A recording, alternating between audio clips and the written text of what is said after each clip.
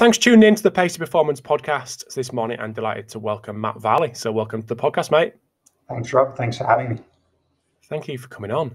So, it was a bit of a stalking after Steve's uh, MDT conference, webinar conference, which I thought was excellent, and so was your presentation. So, thank you for that. Thank you. But if anyone didn't tune into that, firstly, I'd recommend they do because it was a great presentation, uh, along with 250 others or whatever he managed to pull together. Um, but anyone that doesn't tune in and get a bit of a, a brief background on yourself, do you want to give us, um, yeah, brief background, where you've been, what you've been doing, and what you're doing at La Trobe? Yeah, no worries. So um, I've probably come a bit full circle um, in terms of in terms of where I've been. Um, I actually started out my education at RMIT, which is a university down in, in Melbourne, which is actually about a kilometre away from La Trobe. Um, where I've ended up working now. So I did my undergraduate in uh, a degree, it was human movement, um, and then actually took a couple of years off, um, maintained my experience doing an internship with the Victorian Institute of Sport, which I then um, continued just in a voluntary sense for a year or two afterwards, but uh, worked full time in a, in a gym in the city for a couple of years. And then decided that, you know, I wanted to um, go back to university, uh, further education. So I went to Victoria University where I did uh, an honours year, um, and that was a research project using GPS um, with the uh, we say soccer, I will still say football, the football team um, from the Victorian Institute of Sport. So uh, back then, I think the project was using GPS on the team over six games, which when I look at that now, it doesn't seem like a lot, but back then that was that was something that really um, a few people had done it, but but not really in youth football. Um, so that was the honours project, and then on the back of that, decided that I liked research. Um, went and did a, a PhD. Um, was supervised by by Rob Aughey. Um, so he was located uh, working at the between VU and the Western Bulldogs at the time. Um, so we're actually based out at um, Whitten which is where the Western Bulldogs Australian Football Club uh, train. So did my PhD there, which focused on um, GPS, predominantly acceleration um, from an applied sense. But there was a final study which was very much more lab based, um, deeper physiology um, using a non motorized treadmill. Um, but, but, really, since then, I've stayed on the applied the applied track. Um, so on the back of that, I was lucky enough to get a role at Victoria University lecturing, um, and I was there for about three years, uh, and then made the move over to the Aspire Academy in Qatar, um, where I worked just for under three years as um, the role was research coordinator for the football performance and science department. Um, also, uh, one of the senior sports scientists there um, just helping with, with the testing and supporting all the teams um, within the academy and, and within Qatar. Um, and then on the back of that, uh, me and my wife came back to Melbourne and got a role at La Trobe, um, where I am now. So, yeah, my current role is um, lecturing um, there, mainly in the field of performance analysis and analytics. Um, yeah, and that kind of brings us up to date on on where I am now. Nice, mate. So research still going on? Yeah, yeah research is still going on. Um, so I've currently got um, we've got a link with Melbourne City, so they're a partner with the uh, with the university. So we're talking about getting some some projects up and coming with with them. Um, but at the same time, um, I've got a couple of PhD students who have probably started within the last um, couple of months to, to a year or so, um, and really starting to get back into the research. Last year, I was in a role where I was um, I was discipline lead for sport and exercise science at La Trobe, um, which which was a great experience just to get uh, a handle on the management side of things, um, it, but not as research active. So I still managed to collaborate internationally, people like Steve Barrett, James Malone, uh, and so on, which has always been, um, you know, really exciting to do, especially because they've got, um, you know, the football connections over over in the UK. Um, but yeah, really gearing up for hopefully um, a, a, good year research wise. Um, as I mentioned just before the podcast started, um, the challenge is probably now looking at what the research landscape looks like given everything that's going on at the moment, um, which I guess we're, we're still really discovering. Do you think it will change dramatically? Do you think it'll be there'll be funding issues or anything like that? Uh, I think obviously from a from a club level, it's really challenging because there's been you know we look at the um, the AFL, the Australian um, Football League, and there's been a large number of staff that have yeah. um, been stood down for for the foreseeable future. Um, so that is is a challenge, um, and I don't want to really be prioritising research over people being actually able to do their jobs. Um, I think that's what that needs to be the most important thing. Um, what, what, I will say, where people have been able to stay on um, during this time, um, you know, talking to some people, they've been able to use it to their advantage to have a bit of downtime to maybe upskill in certain areas, um, be able to look at their processes. Often in sport, it can be we get through the season, we take a break, we come back, but we haven't had as much time as we would always like to be able to plan. Um, hopefully, this gives people who who are still able to um, stay with their their respective organisations um, the opportunity to do that planning, um, and some of that could include having um, you know a research direction or reaching out to people to help. Um, but I don't want to be prioritising research over people being able to do their, their day-to-day task in the sports science area. What, what I will say, which is a challenge, um, I think in, in sports science, maybe not necessarily at the elite level, but one of the challenges that we've had is it's fantastic. There's always a fantastic opportunity for undergraduate or postgraduate students to be involved in, in club levels to gain experience. And I know one of the issues with the internships is always the um, the voluntary and what, what, constitutes a paid internship. Um, it's really difficult because we want people to get experience, but we want them to have experience where they're being appropriately supervised, ideally by someone, a full time sports scientist or strength and conditioning coach that's with the club. Um, now, that was already a challenge where, in some cases, maybe more at an amateur level, you would have clubs that aren't able to have that supervision there, and rather than having a, a full time or a part time sports scientist or, or S&C coach, they'll they'll have an, an intern there. Um, great experience, but also you know how much are they able to learn in that role. So one of the one of the possible risks I see when we all come back into this space, given that a lot of clubs will be in that, um, not as they'll be worse off a little bit financially, mm-hmm. is what happens in that space. You know, what's is there going to be more reliance on unpaid internships? I think that's something that we need to pay close attention to. Um, I think, and it is starting to get attention definitely in Australia. Exercise Sports Science Australia are doing a lot of really good work in that space. Um, and I, I, think similarly with um, um, BASES over in the UK. Yes. Um, but it is something that's just based on the last few months I think when we come back into the sporting area, it will be something that has been impacted. So it's something we need to think about. Mm-hmm. No, I agree. Absolutely agree.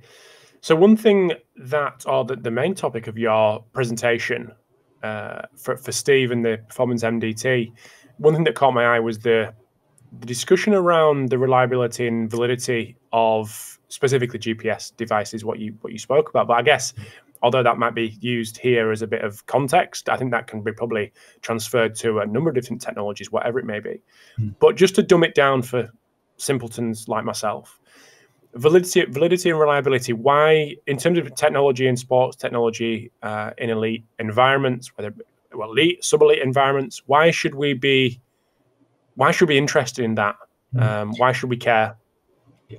Um, I guess there's a few. It's, it's, it's, kind of multifactorial. From from the validity aspect, we're looking at does does the device measure what it's intended to measure, um, and that that's probably one part of it. So, for example, um, and as you said, this applies to well any technology, not just tracking technology. But if we if we use tracking technology, and again, I'll use something like GPS as an example. Um, if GPS is giving you a measure of um, the distance an athlete has covered is if they cover 10 meters, does it say they've covered 10 meters? So what, what's the validity of that system? Um, but then from the reliability aspect, it's it's almost more important. So um, if we run 10 meters wearing this device over and over again, does it consistently say that we've done 10 meters each time? Um, so, you know, I, I, think that reliability is almost more important than the validity because then we're using this information to make decisions on our athletes. We're using it to compare what they've done in training, what they've done in games, and so on. Um, so, so I do think the validity, reliability is very important. Um, I didn't touch on it too much in my in my talk. I kind of moved past that, but just just some of the things I think need to really come to people's attention when we talk about validity and reliability with this technology. Um, and I'll kind of give two sides to the story here. The, the first one is every time there is a different what what needs to kind of be assessed. So we've got a device, uh, GPS. It measures distance. It measures velocity. Um, we can look at latitude, longitude, so get some positional information as well. So when we talk about the validity and reliability of that device, we're talking about the validity and reliability for each different measure it assesses. It's not only its ability to measure distance. Uh, we also want to look at it to measure, um, you know, especially now we're starting to really use this stuff for tactical analysis, um, position, and so on. So that's one part of it. Then every different model, every different change to how that data is output really should be reassessed.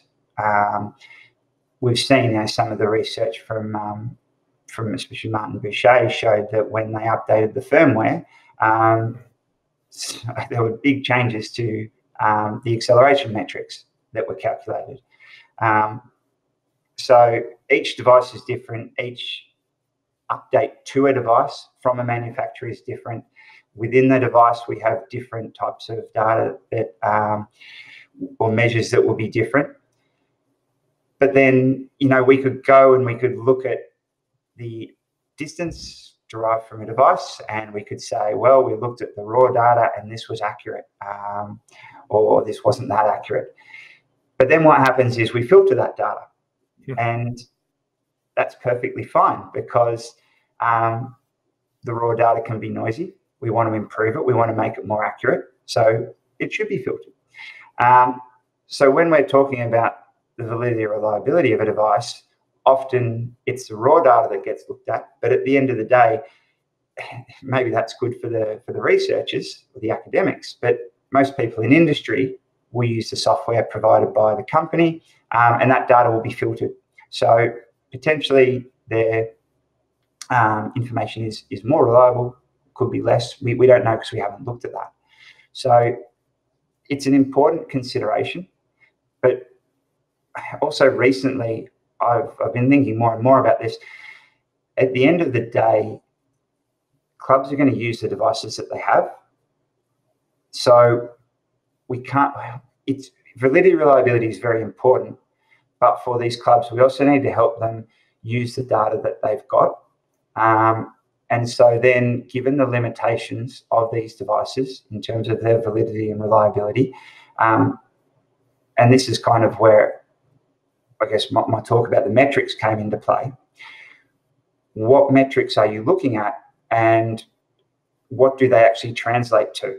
Because just because something's valid and reliable, we then can filter that we can get a metric such as um, sprint efforts. So, what do we mean when we talk about sprint efforts with your devices?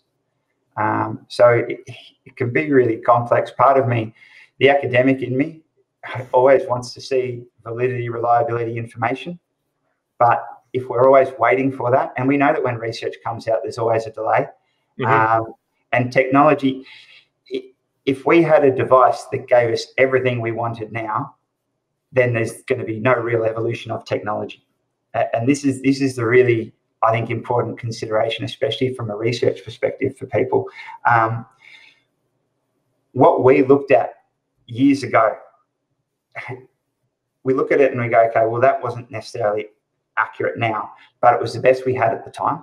Mm-hmm. You know, I think some of the old match analysis studies um, were reporting that we players were covering uh, about 800 meters a game at more than 30 kilometers an hour. Now, now we know that that's not going to be that wasn't happening. Mm-hmm.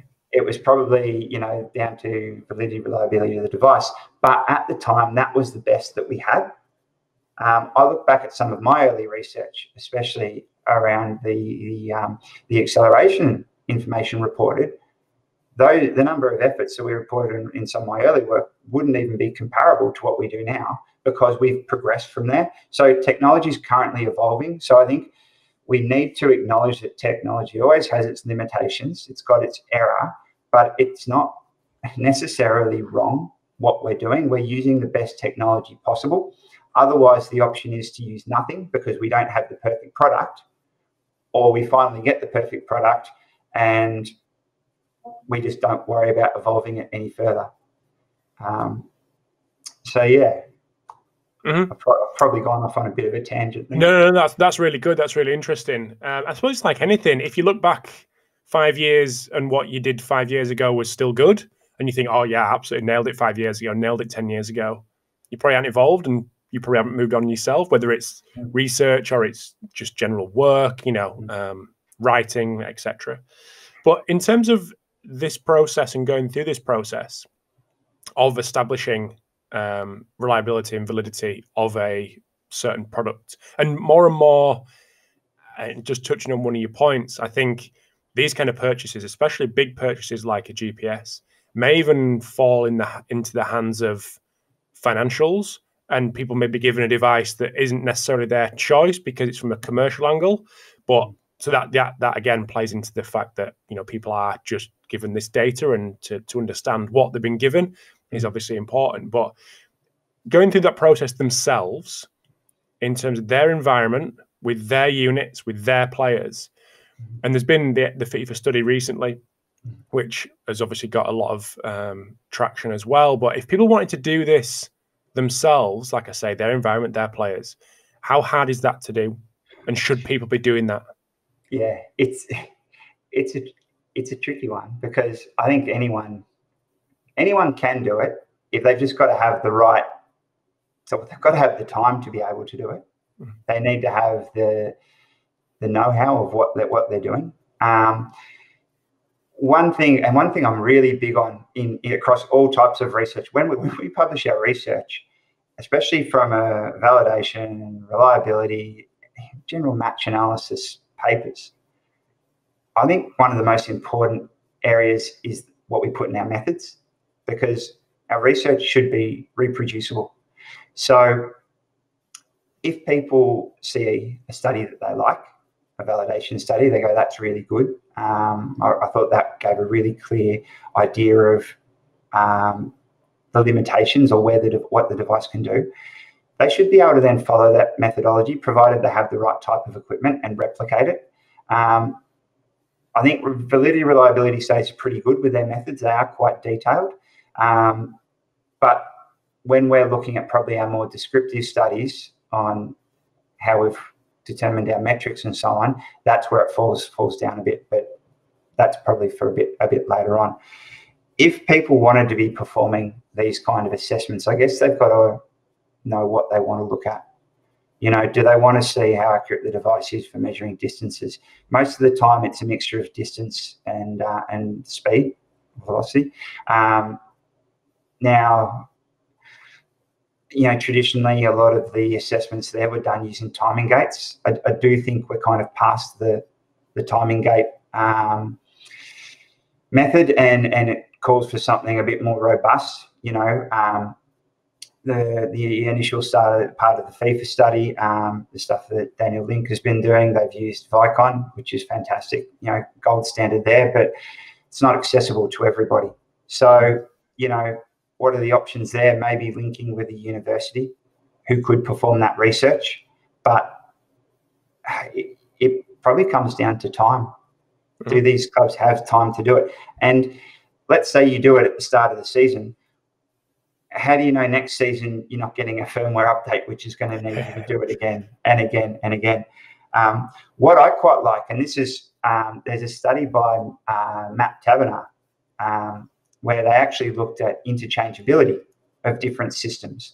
Um, and I think that could be quite useful. Okay, it's not going to necessarily tell you about the validity and reliability of your devices, but if we have practitioners who are faced with maybe two different situations, one, they've been told, okay, we're maybe we're cutting costs or we've got more money to spend and we're changing the technology that we're using. Okay, they have to go from one set of data that they're familiar with to a completely, potentially completely different set of data. So, what's the interchangeability of that information? What does that look like?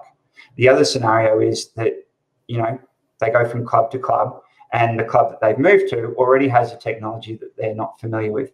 So, that's much more straightforward to do as long as you have the different types of technology.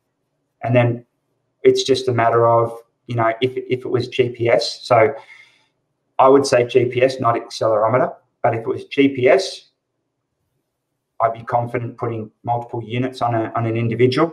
You know, we just make sure that there's not going to be any satellite interference.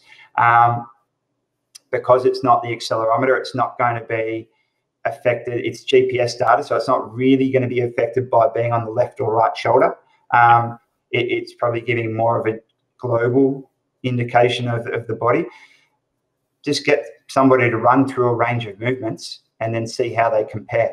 You could even have someone do it in, during a game if you wanted to. Um, that that said, I don't think we always need to be assessing our devices in a game situation. The device doesn't know that you're playing a game. the device knows that you're you're moving.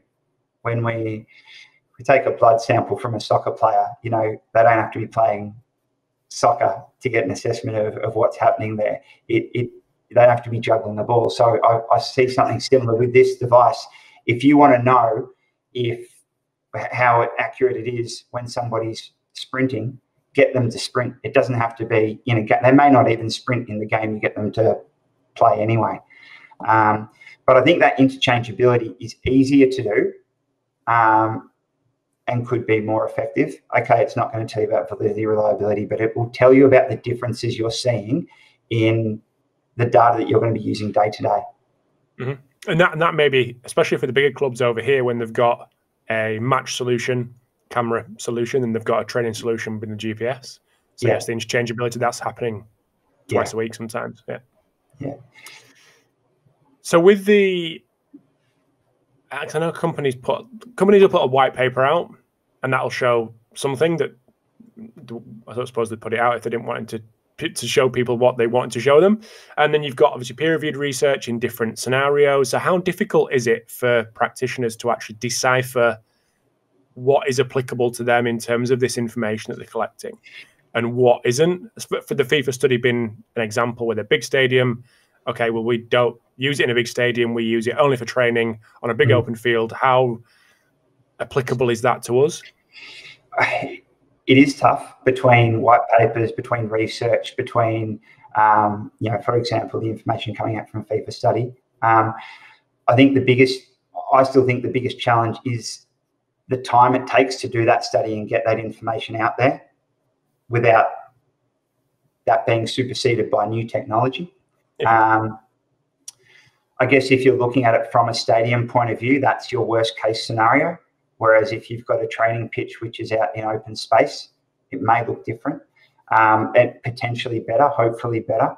Um, I, it's it's a really big challenge, and that that's why, as I mentioned before, more and more, I and I do think validity reliability is really important, but I also think maybe we just need to start looking at understanding the data that we're using. You know, okay. um, so that that's where, and again, we'll talk about it later. Linking things mm-hmm. to video, actually having an idea of what your information looks like. Um, now, now I do tend to look at this stuff more from a performance analysis point of view than a, than a workload point of view. So I know that that's where there are a lot more decisions made on sorry on training load and, and so on.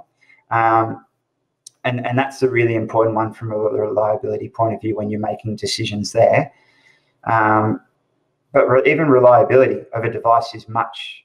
It's really difficult to determine because if I went and ran 200 meters 10 times in a row, I haven't replicated the exact run 10 times. You know, um, so if especially we're looking at uh, my velocity or my speed throughout that run, it, it's going to change. So the reliability part's really hard without some kind of maybe robotic device. But then are we overthinking things? Yeah. Um, so it's I haven't really given you an answer here, but I think it's because it's so it's so complex. Yeah. Um, and because now we've got so many technologies, the software is changing, the way we analyze our data is changing.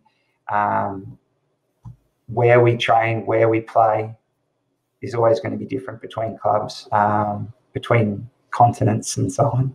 Yeah. Mm-hmm. Okay. Um, so hopefully, maybe the next little bit that we talk about is a little bit more simple, but I'm guessing it may also bring up its its own challenges. But in terms of GPS tracking, and using that as an example, with the hundreds and hundreds of metrics that are available for people, how do practitioners wade through that and pick out the ones that are most relevant for them to collect on their athletes? Mm-hmm. It, it's a really good point, and it's a it's a challenge I think for for a lot of people, um, especially because each different manufacturer or type of technology will want to do something slightly different. So all of a sudden, we can be presented with a technology that offers over a hundred different metrics. Um, so which ones do we choose? Most people I've seen talk about what they use are now going for the less is more approach. So they may pick out two or three um, metrics. And my question is then always, why those metrics? What are they using them for?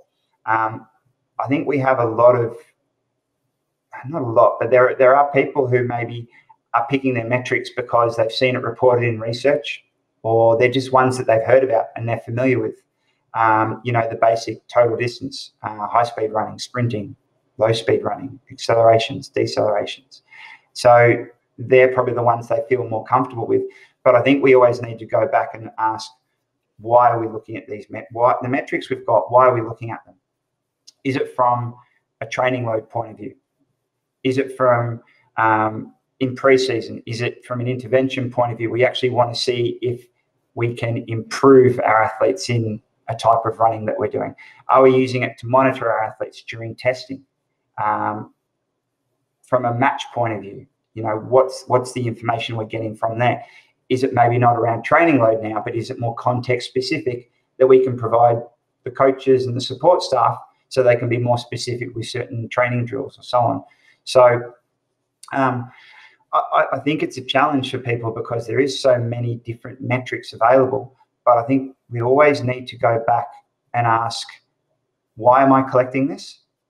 What is it going to be answering for me? Yeah, one thing that I always come back to when I, I, have chat, chatted to people about this in the past is my experience working for Catapult. Mm. And it was only probably later as I've reflected on that and some of the, the chats we had of when people were taking on uh, Catapult as a, as a technology and the amount of I don't want to sound disrespectful to people, but there was a number of clubs who definitely took it on without actually knowing what they were going to do with it when they got it. It was just because they'd, they'd heard about other people getting it, and it was like, get these guys in ASAP, get it on the lads. What does it look like? Okay, yeah, that looks really good. Like, let's get it. Mm. And it's without actually having that really solid question of what they wanted to answer. And GPS was going to answer that for them, or they thought it was. That that that process has been missed out, and they, they, they leapfrogged that, which I guess is pretty pretty common thing with all technologies. and even even goes, you know, similar thing we can see during testing. For example, ask people what tests that if they have time to be able to perform tests on their athletes, what tests they perform. I would think we'd see something similar. Why do you do a sprint test? There, there would be a lot of people who do a sprint test because they know how to do a sprint test, or they were taught that sprint testing is important. But are they actually using? Are they using it to determine maximal sprint speed? And then from that, work out a relative threshold for their athletes. Um, so there's a justification on why you do the test. But I also think, similar to this, there's a lot of people who do that test because, well, these are the four or five tests that people always do. So we'll do them each year and, you know, meet our meet our KPIs. So I think it's why we always need to question, and especially, you know, this goes back again to having so much data available. Do we need to do everything that we're doing? There should be a purpose. There should be a, a justification and a purpose for why we're collecting what we're collecting, why we're doing what we're doing, and we need to have that time to be able to stop and think about that. So you mentioned mentioned there about thresholds, and that was my next point. How do people, and what is the process for people to go through to, especially like the high speed thresholds, for example, to actually identify what is going to be right for them in terms of setting them thresholds? Yeah, and this is probably the third time that it's fine, it's fine. Again, it can be different for each person. It depends on what their question is going to be. Um, I know that in in research, there's a huge push a lot of the time for standardization.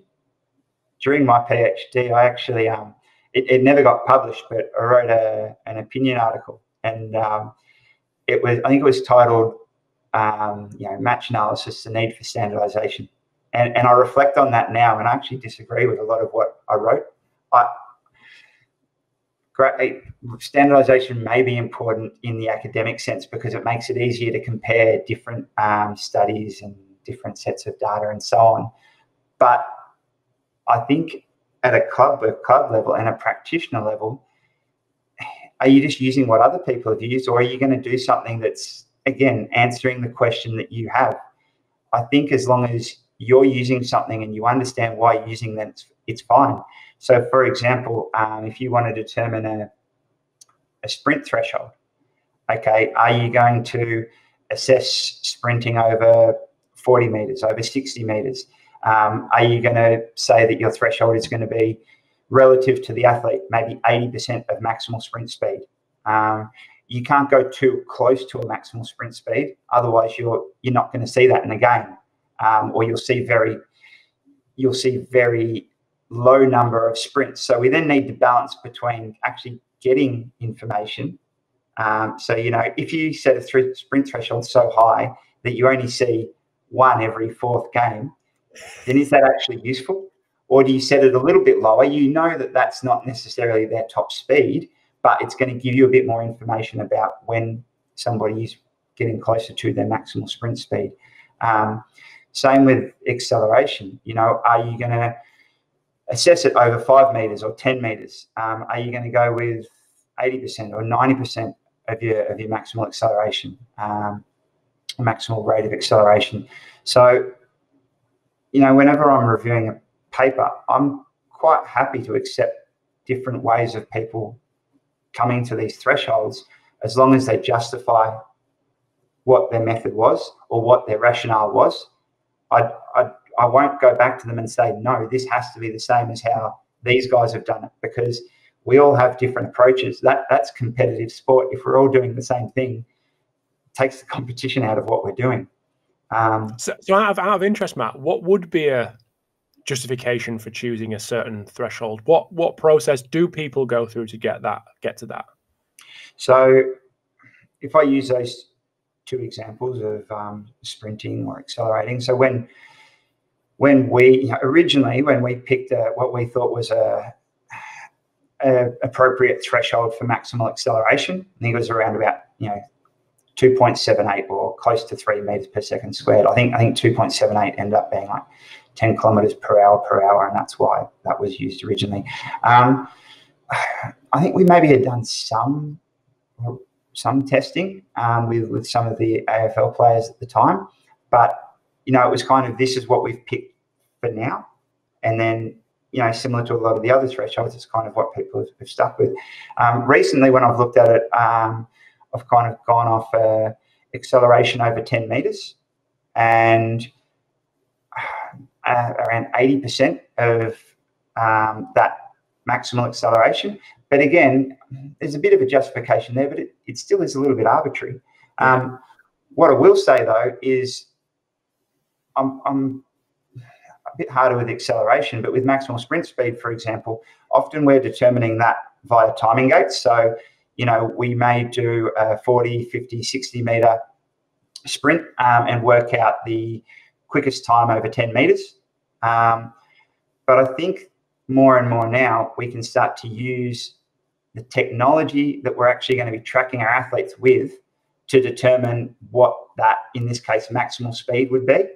And to me, that makes sense because if your GPS, when you're doing a 60 meter sprint, says that your maximal speed is, um, you know, seven and a half meters per second, and your timing gates say that it's eight meters per second, then if we look at 80% of our maximal sprint speed, it's actually going to be different mm. because we've used the maximum speed from the timing gates rather than the GPS. So at least if we're using the same device that we're then going to be applying that threshold to, we, we I think that just gives us a bit more quality assurance in what we're doing there.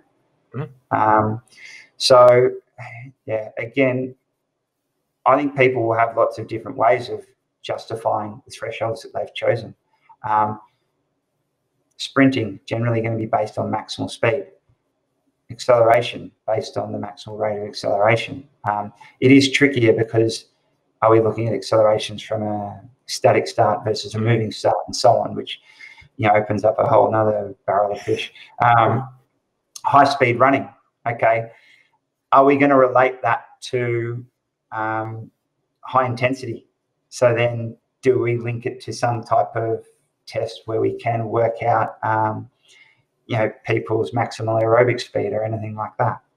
Um, so there's, there's lots of different tests, lots of different ways of people coming to a conclusion on this is why they're going to pick these thresholds. And I think as long as they're clear and they have a rationale behind it, and that rationale, if they read it in a paper and say, I really like the way these guys did that, that's how I'm, that's what I'm going to adopt, that's fine. Mm-hmm.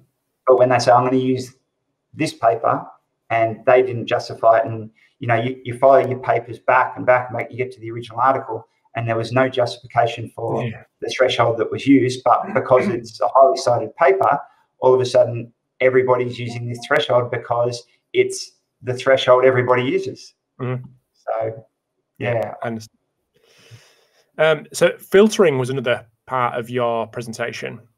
Hmm. Talk to us a little bit about that. Is that is that is it my interpretation, or is that a little bit of a murky, the murky world that people uh, kind of question of what's been filtered and what hasn't, and how they do it, how they don't do it, how different companies differ, all that kind of stuff? It's again, it's a tricky one because I think I think there can be sometimes that perception of filtering being you said murky waters, but I, filtering is it's a good thing. Mm-hmm. You know, it, it's something that should should happen because hopefully the intention of the filtering is to improve the quality of the data that we've got you know. Um, so filtering shouldn't be seen as as a negative. Um, I think it's something that should happen. Where it becomes difficult is when there's not transparency in how that filtering goes on, because I go back to being able to reproduce research. You need to know the steps that people have taken to get to what they're reporting. Um, I think I spoke in my um, in my presentation about an article by um, Damian Harper, where they did a, a systematic review and meta-analysis looking at um, high intensity acceleration and deceleration efforts. And they had quite a bit, uh, quite a strict exclusion criteria. So I think they, they got down to, I think it was around about 17 articles. Um, but from those articles, you know, not all of them gave the full information on how they were determining their acceleration efforts. Um, and so then when you go to compare them and you see that some of them might be, um, okay, over the course of a football match, there were 30 efforts performed, and here it's 100 efforts performed. That doesn't surprise me because they've maybe used different technologies, they've used different filters, so that output is going to be quite different. Um, I think it's one of the biggest things that gets neglected in what we do because even if we go and work out the validity and reliability of a device, that information still then gets filtered in some way. And that filtered information may then have a whole lot of options applied to it for in the case of effort detection. You know, so if we if we go through the process of um, effort detection from from an acceleration point of view, okay, so with GPS we have um, our, our, velocity information, um, which, which, is coming from the, the Doppler shift method. From that, okay, we've got velocity, which then gets um, derived into acceleration. So the first step then is how are we deriving acceleration from velocity? Are we just looking at um, the change in velocity over time from sample one to sample two? Are we using a wider interval, you know, sample two, uh, one to sample two, sample one to sample three, um, which is, you know, crude method of filtering itself? Are we putting a filter on our velocity data and then putting a filter on our acceleration data? Um, once we've then actually got that acceleration data, how are we detecting our efforts? So we, we've got to pick a, a rate of acceleration where that constitutes the start of the effort. Mm-hmm. But then how do we detect the end of that effort? Okay, so we need, for the effort to be real, we need a minimum amount of time above that threshold. But then do we say that you complete your acceleration when you drop below that threshold? Say the common one is three meters per second squared. However, you know, we can still be accelerating um, below three meters per second squared. Um, so do we use the cutoff for that effort as when we drop below three or when we drop below zero, um, when we just don't accelerate at all? Two different ways to do it. You know, one might result in very short acceleration efforts, which are one, one and a half, two steps. The other one might be longer acceleration efforts um, over four or five meters or so. It depends then what your question is, what you want to look at. If you're going above three meters per second squared until below, that probably makes more sense from a training load point of view. But if you're looking at it from a performance analysis point of view and you want to see, okay, situations where someone's had to maximally accelerate, and I want to see a full acceleration effort there as a coach may perceive that effort, then maybe the other method's more appropriate. Mm-hmm. So all these things come into play when we talk about filtering our data um, the, the data processing itself, I think, and I think it's fair enough to a degree. From an academic and a research side, obviously, where we pull out that data, we play with it, we tend to analyze it ourselves. But I think we're quite, you know, someone releases commercial software, and often we just want to do our own thing and go around it. Um, or come to the same conclusion as that software, analyzing it ourselves to have a greater understanding of what's what's happening. Um, but from a practitioner level, you know, that's it's a lot more information that they may not have time to understand. But the implications of, you know, even just some simple things like what type of filter you're using, what minimum duration you're setting for your efforts, um, most I don't know any technology that allows you to set a minimum time for the effort to have concluded. Um, but all, all, those considerations are going to affect their data, but I don't think everyone's going to have a clear understanding of that.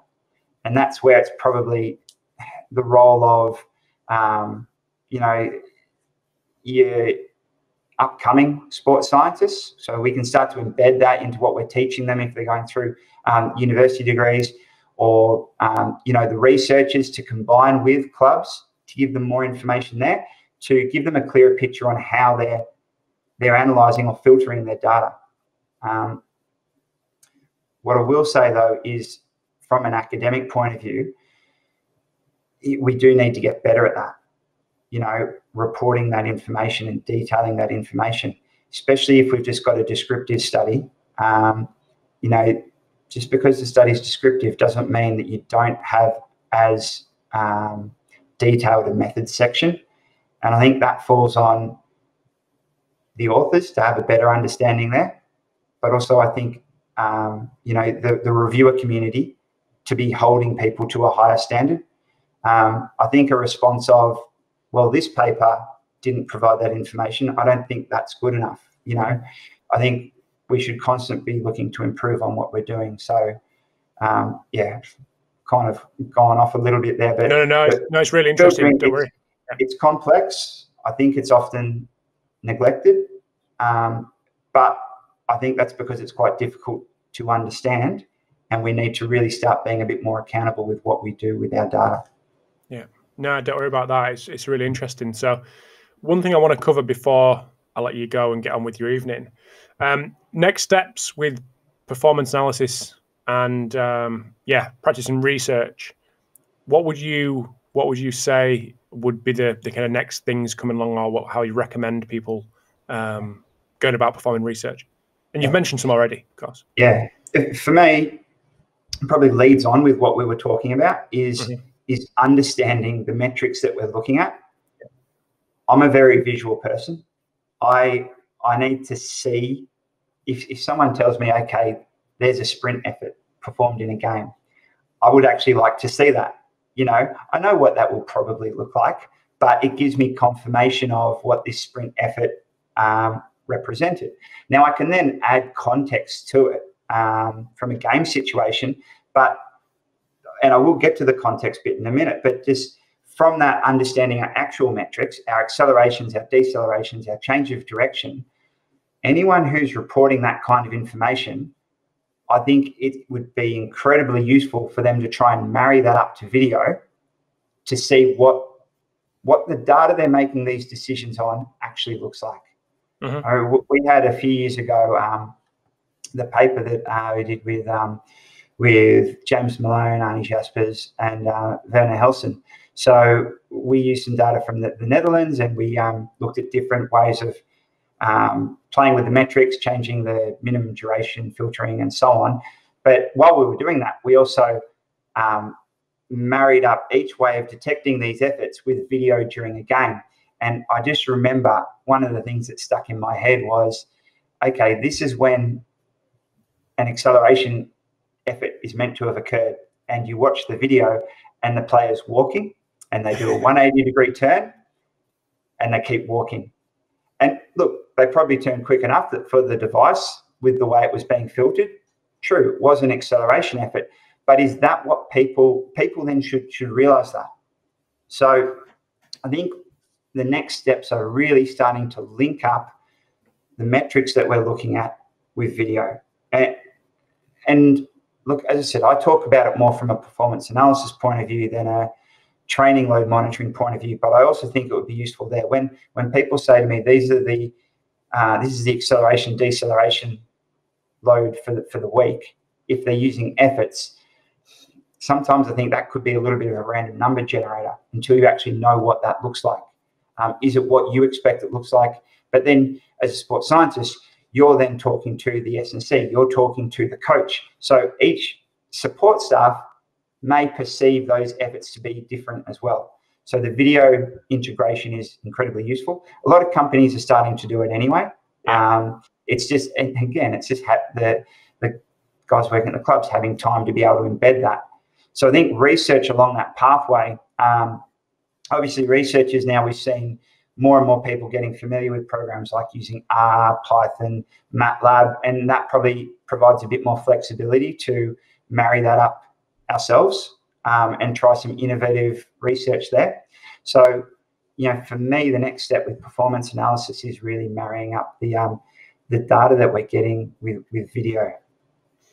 If in just in that example, if you're as more sports scientists take this kind of information to coaches, again, to add context to the data they're providing in their reports, if they don't understand that that could be a situation, i.e., the 180 degree turn, that could that could lose a coach. That they're yeah. you're giving me this information, and how many of them are there? Yeah. So that that could yeah, unless you know that and you can pinpoint that and justify why that's happened and why it may be an anomaly or whatever. That yeah, that could I can imagine that could lose a coach. Yeah, it, and then and then from there, once they understand it, you can then and this is like I can't wait till we're able to get to this point. Mm-hmm. Um, you know, there's always these things that we need to do beforehand, but then let's start to actually analyze context to these movements and and that's I, I, think I always use this video of um, you know the, well the common phrase we have in a lot of our performance analysis research is sprinting and acceleration. It's really important because it'll help players be first to the ball or move past an opponent.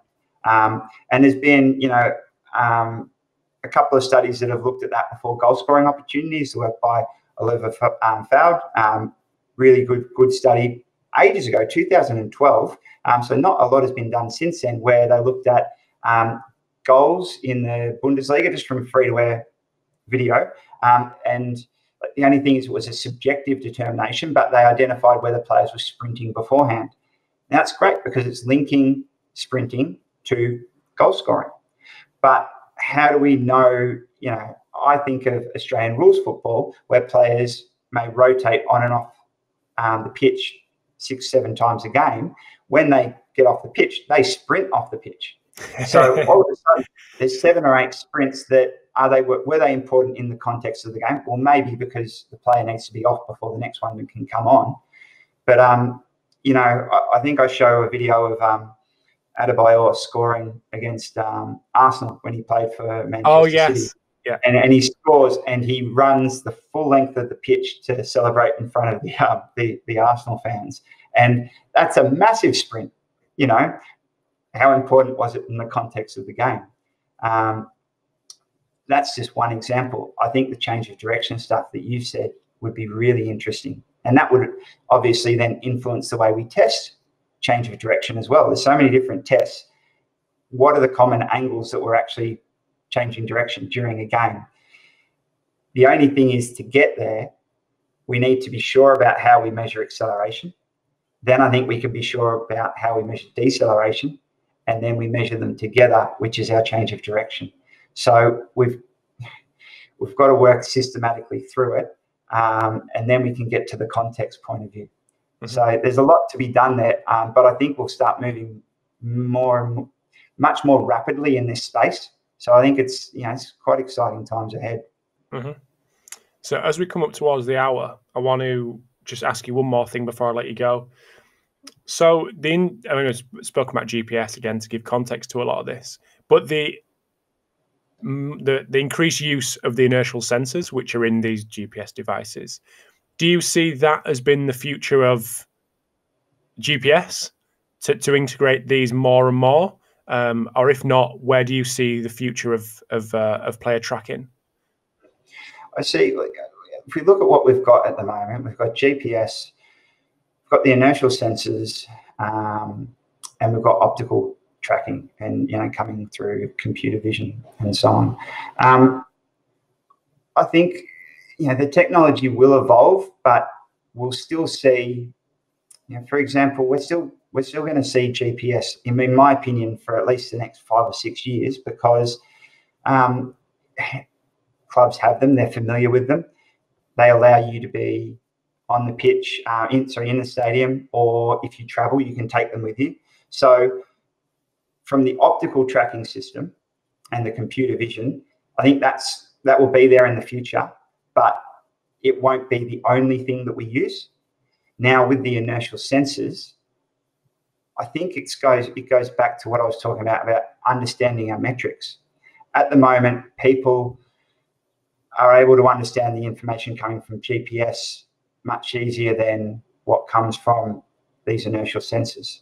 And so what we'll start to see now, which we've already, you know, people have been working on for you know seven or eight years already with, with player load and um, things like that, but is more and more um, new metrics, I guess, that are coming from our inertial sensors, the accelerometers, magnetometers, gyroscopes, and so on.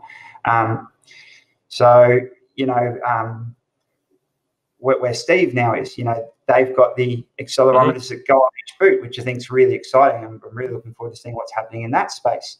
Um, you've got well, all the all the GPS have accelerometers built into them as well. Um, so it's understanding what we can get from those those systems.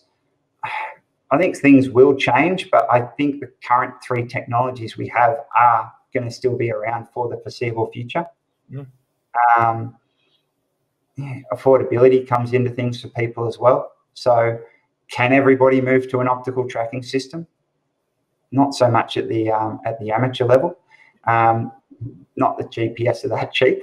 Hmm. Um, accelerometers a cheaper alternative, but especially at an amateur level, harder to comprehend, um, yes. depending on who you have in place. So I guess it just goes back to, to understanding the metrics that we've got and making sure that when we get information, we're clear on what it means and how we can use it. I think there's a place for all three technologies um, in the foreseeable future, anyway. Amazing. Well, thanks, mate. Really appreciate that. If anyone wants to catch up with anything that we've discussed or anything else, where's the best place for people to go? Um, I'm, I'm happy for people to email me um, or, or, get in touch with me. Um, I'll, I'll, I'll, send you my email, um, yeah, but it's, it's, I remember now, I always change my email too often. uh, it's m.varley at latrobe.edu.au. Um, they can message me through Twitter. I don't use Twitter as much as I probably should, yeah. um, but it will come through. Um, but but as you say on that, one of the really cool things I think about the area of research that I, I work in is I don't need to be face to face for a lot of it. Um, you know, a lot of the work that we've done have been international collaborations with people where, you know, we, we Zoom, we Skype, um, we share the screen, we see the data, transfer it, play around with it, send it back. So it's it's helping people interpret what they're doing. Um, as I said, you know, a lot of it comes down to time for people. They don't have time to be able to look at their information as in depth as they would like. So, you know, that's where I see, and not just myself, all, all researchers and universities are there to be able to help and support people. Um, but yeah, I'm always happy to have a chat and, and really do invite people to get in, in touch. Um, yeah. Amazing. Well, thank you very much. So you've, I know you've said your uh, email address there, but if anyone wants confirmation of that, I'll, I'll, I'll get it from you and, uh, and pass it on should people want it. So thank you very much, Matt. Really appreciate your time, and uh, definitely check the check out the um, the presentation. I think it's on YouTube and probably Playermaker's website as well. But yeah, really appreciate it, Matt, and I'll uh, I'll chat to you soon. And have a good rest of your day. Uh, thank you, and thanks for having me. Uh, no, it's been great. Pleasure. Thanks, mate. Thanks, Rob.